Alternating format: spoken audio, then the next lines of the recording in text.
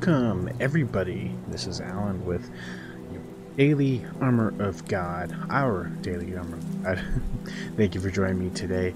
Um, this is my Finishing the Bible in One Year project. This is day two, and today we will be reading books four, five, and six. Yesterday we read uh, Genesis chapters 1, 2, 3, obviously. And um, actually, sorry, today is 4, 5, 6, 7. So we have a lot of reading to get done. I think they're shorter chapters, so that's why some days it's going to be 3 chapters, some days it's going to be 4, some days I think it's 2. Just depends on the length of the chapter, I think. Um, so, day 2, let's do it, guys. Um, Pray to God and let's get this going. So, Cain and Abel, Genesis 4. Um, I forgot to mention, I'll, I'll, mention this on every video, I think. I'm using blueletterbible.org. Um, the way related to that, I just wanted to say it. I really like it. I'm using King James Version. So, Genesis 4, Cain and Abel, let's get started. And Adam knew Eve, his wife and she conceived and bare Cain, and said, I have gotten a man from the Lord. And she again bare his brother Abel. And Abel was a keeper of the sheep, but Cain was a tiller of the ground. And in the process of time it came to pass that Cain brought the fruit of the ground an offering unto the Lord. And Abel he also brought the firstlings of his flock and the fat thereof. And the Lord had respect unto Abel and to his offering. But unto Cain and his offering he had not respect, and Cain was very wroth, and his countenance fell. And the Lord said unto Cain, Why art thou wroth, and why is thy countenance fallen? If thou doest well, shall not thou not be accepted? And if thou dost not well, sin lieth at the door, and unto thee shall be his desire, and thou shalt rule over him. And Cain talked with Abel his brother, and it came to pass, when they were in the field, that Cain rose up against Abel his brother, and slew him. And the Lord said unto Cain, Where is Abel thy brother? And he said, I know not. Am I my brother's keeper? And he said, What hast thou done? The voice of thy brother's blood crieth unto me from the ground. And now art thou cursed from the earth, which hath opened her mouth to receive thy brother's blood from thy hand. When thou tillest the ground, it shall not henceforth yield unto thee her strength. A fugitive and a vagabond shalt thou be in the earth. And Cain said unto the Lord, My punishment is greater than I can bear. Behold, thou hast driven me out this day from the face of the earth, and from thy face I shall be hid, and I shall be a fugitive and a vagabond in the earth. And it shall come to pass that every one of that findeth me shall slay me. And the Lord said unto him, Therefore whosoever slayeth Cain, vengeance shall be taken upon him sevenfold. And the Lord set a mark upon Cain, lest any finding him should kill him. And Cain went out from the presence of the Lord, and dwelt in the land of Nod, on the east of Eden. And Cain knew his wife, and she conceived, and bore, bare Enoch. And he builded a city, and called the name of the city after the name of his son Enoch. And unto Enoch was born Irad, and Irad begat Mehu, Mehujael, and Mehujael begat Methuselah, and Methuselah begat Lamech. So, guys, just want to quickly say, uh, I apologize in advance for my mispronunciation of names and cities and things. I'm sorry. I just want to say that right now. I'm sorry. anyway, Genesis 4:19. And Lamech took unto him two wives. The name of one was Ada, and the name of the other Zillah. And Ada bare Jabal, he was the father of such as dwell in the tents, and of such as have cattle. And his brother name was Jubal, and he was the father of all such as handle the harp and organ. And Zillah, she also bare Tubal-Cain, an instructor of every artificer in, in, brass and iron. And the sister of Tubal-Cain was Naamah. And Lamech said unto his wives, Ada and Zillah, hear my verse, ye wives of Lamech. Hearken unto my speech, for I have slain a man to my wounding, and a young man to my hurt. If Cain shall be avenged sevenfold, truly Lamech seventy, uh, seventy and sevenfold. And Adam knew of his wife again, and she bare a son, and called his name Seth. For God, said she, hath appointed me another seed instead of Abel, whom Cain slew. And to Seth, to him also there was born a son, and he called his name Enos. Then began men to call upon the name of the Lord. It's chapter 4. Moving on to chapter 5. This, oh okay, first of all, descendants of Adam. This is the book of the generations of Adam. In the day that God created man, in the likeness of God made he him. Male and female created he them, and blessed them, and called their name Adam in the day when they were created. And Adam lived an hundred and thirty years, and begat his son in his own likeness, after his image, and called his name Seth. And in the days of Adam, after he had begotten Seth, there were eight hundred years. And he begat sons and daughters, and all the days that Adam lived were nine hundred and thirty years, and he died. And Seth lived a hundred and five years and begat Enos. And Seth lived after he begat Enos eight hundred and seven years and begat sons and daughters. And all the days of Seth were nine hundred and twelve years, and he died. And Enos lived ninety nine uh, lived ninety years and begat Cainan. And Enos lived after he begat Cainan eight hundred and fifteen years and begat sons and daughters. And all the days of Enos were nine hundred and five years, and he died. And Cainan lived 70 years and begat Mahalaleel. Sorry, guys. And Cainan lived after he begat Mahalaleel 840 years and begat sons and daughters. And all the days of Cainan were 910 years, and he died. And Mahalaleel lived 60 and 5 years and begat Jared. Mahalaleel lived after he begat Jared 830 years and begat sons and daughters. And all the days of Mahalaleel were 890 and five years, and he died. And Jared lived an hundred and sixty and two years, and begat Enoch. Enoch. I thought that Cain. Okay, sorry. I thought that Cain bore Enoch, or Cain. That Enoch came from Cain. I don't know. Maybe it's a different Enoch. And Jared lived after he begat Enoch eight hundred years, and begat sons and daughters. All the days of Jared were 962 years, and he died. Wow, so Jared lives the highest so far. Uh, and Enoch lived 60 and 5 years and begat Methuselah. And Enoch walked with God after he begat Methuselah 300 years and begat sons and daughters. And all the days Enoch were 300, 360 and 5 years. No, this is the Enoch. Yeah, this is the same Enoch. Wait, I'm confused. Anyway, sorry guys, getting off topic. And Enoch walked with God, and he was not, for God took him. Wow. Wow, God took him.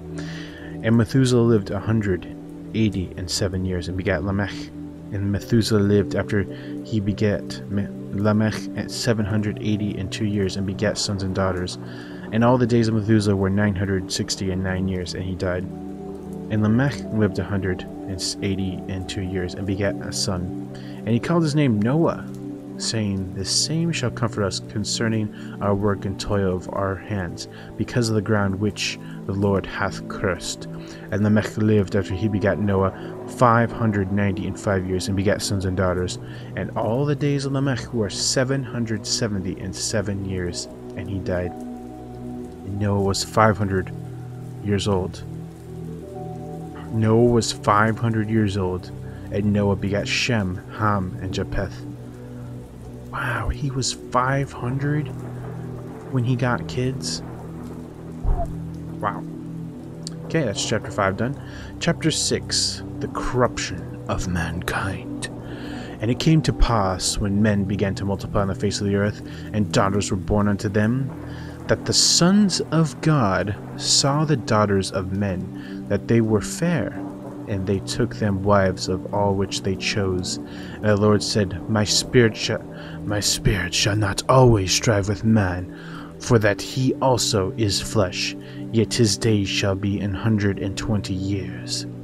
There were giants in the earth in those days, and also after that, when the sons of God came unto, unto the daughters of men, and they bare children, to them, the same became mighty men which were of old, men of renown.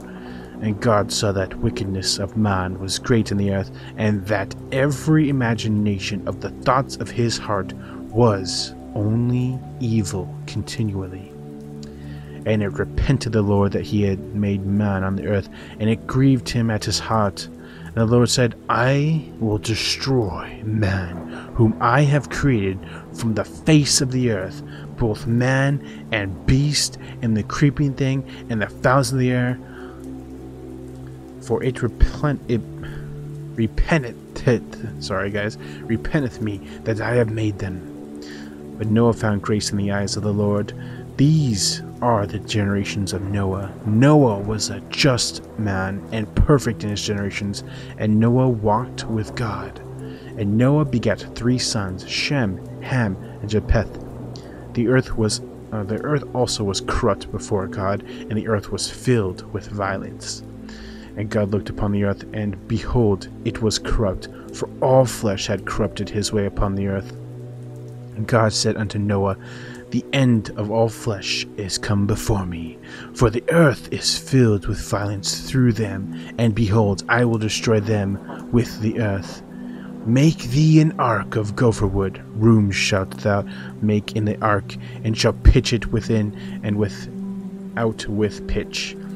And this is the fashion which thou shalt make of it. The length of the ark shall be three hundred cubits the breadth of it fifty cubits, and the height of it thirty cubits.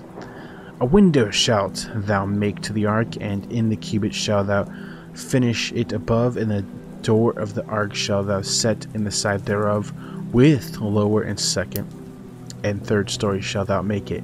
And behold, I, even I, do bring the flood of waters upon the earth, to destroy all flesh wherein is the breath of life from under heaven, and everything that is in the earth shall die. But with thee I will establish my covenant, and thou shalt come into the ark, thou and thy sons and thy wife, and thy sons' wives with thee, and every living thing of all flesh, two of every sort, shalt thou bring into the ark, to keep them alive with thee.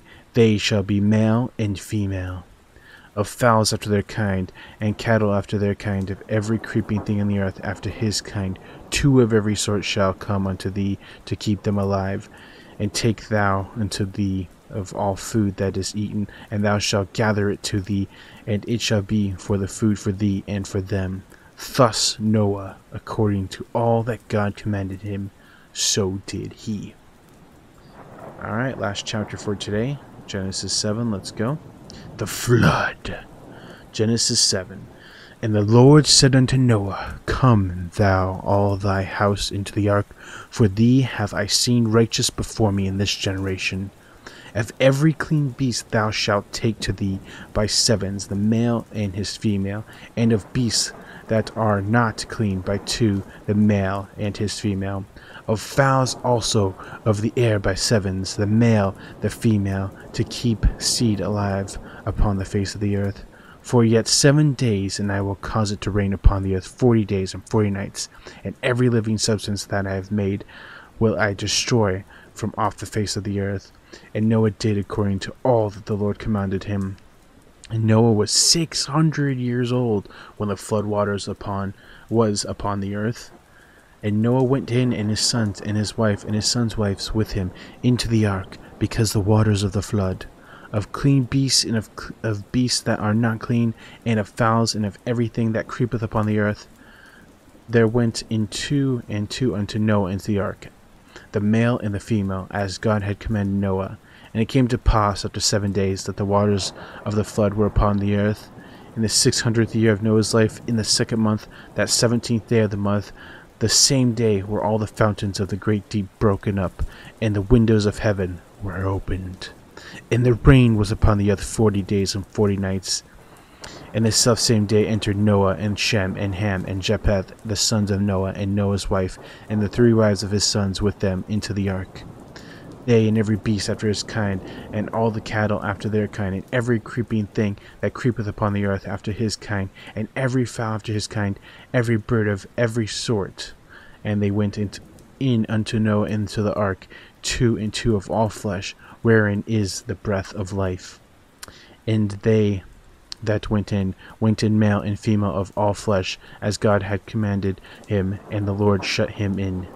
And the flood was forty days upon the earth, and the waters increased, and bare up the ark, and it was lift up above the earth. And the waters prevailed, and they were increased greatly upon the earth, and the ark went upon the face of the waters, and the waters prevailed exceedingly upon the earth, and all the high hills that were under the whole heaven were covered. Fifteen cubits upwards did the waters prevail, and the mountains were covered. And all the flesh died that moveth upon the earth, both fowl and of cattle and of beasts and of every creeping thing that creepeth upon the earth, and every man, all in whose nostrils was the breath of life of all that was in the dry land, died. And every living substance was destroyed, which was upon the face of the ground, both man and cattle, and the creeping things, and the fowl of the heaven, and they were destroyed from the earth. And Noah only remained alive, and they that were with him in the ark and the waters prevailed upon the earth an hundred and fifty days. Wow, guys, that was uh, that was our daily reading, four, five, six, seven of Genesis. So uh, lots of stuff happening there. Yeah, floods, scary times, but there was much evil in the land. Crazy. So, thank you guys so much for watching. That was uh, that was my day two. Um, I'm really liking this, guys. Um, it's good. It's good motivation for me not only to to keep on reading by making these videos, but uh, I just appreciate any and everybody who stops by, um, even for a bit. Thank you so much for watching. So hope to see you guys uh, next time uh, for day three and, uh, of my uh, finishing the Bible one year project. My goal of finishing the Bible. So thanks again, everybody. Hope you have a good evening, morning, night, wherever you're at. Oh, I forgot to, um, let me just pray. Just a short prayer. So, um, thank you, thank you, Lord Jesus, for this day. Thank you for, um, letting us be able to, to read your word and, and get closer to you, Lord. Um, just want to say thank you for everything you have done for us, and I pray you continue to be with us and help us uh, grow in our walk with you and in our faith. Thank you for everything you have done for us, Lord. We love you. And in Jesus' name. So thanks, guys, so much. Hope you have a good evening, morning, night, wherever you're at. And as always, TTFN, ta ta for now. Take care, guys. God bless.